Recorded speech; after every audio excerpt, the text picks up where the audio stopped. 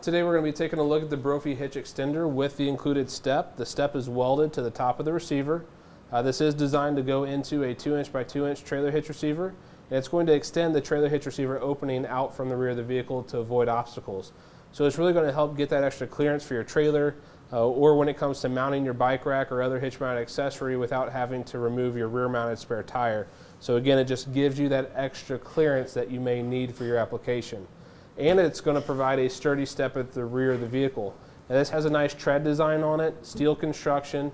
Uh, what that does is it's going to help keep your feet elevated. If this was to get wet, it's just going to provide better traction and increase safety, and it's a nice large design.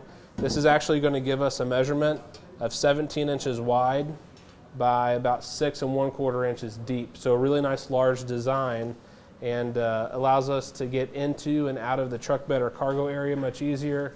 You can access your boat or equipment without having to climb all over the trailer frame. And this could also be used as a pet step to help your pets get into or out of your vehicle. Um, the unit's made from a steel construction, and then the shank, the portion that slides into your 2 inch by 2 inch hitch, this is actually made from a solid steel, so a nice, strong, durable design. The unit's going to have a really nice black powder coat finish on it, so it's going to do a great job at resisting rust and corrosion. Now it does require a hitch pin and clip or a hitch lock to get it secured in your hitch, and it's going to require a hitch pin and clip or a hitch lock to secure whatever accessory that you're putting into the 2 inch by 2 inch opening. Those items are sold separately. These pinholes will accept a standard 5 8 inch diameter pin, and if you're in need of something like that, you can find them right here at eTrailer.com.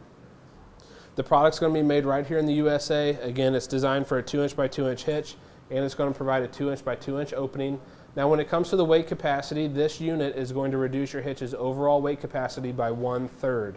So if you have a hitch that's rated for 6,000 pounds and you have this installed, your hitch is now rated with a capacity of 4,000 pounds because we took one third off of that. So the gross towing weight capacity of this extender is 3,500 pounds and the tongue weight is 350. If used with weight distribution, the gross towing weight capacity is 7,000 pounds and the tongue weight is 700 pounds. So please be mindful that you will always be limited by the lowest rated component in your towing setup, whether it's your hitch with a reduced capacity, the hitch extender, or your weight distribution hitch. To see how much extension this provides, we can simply take a measurement from the center of one pinhole to the center of the other pinhole.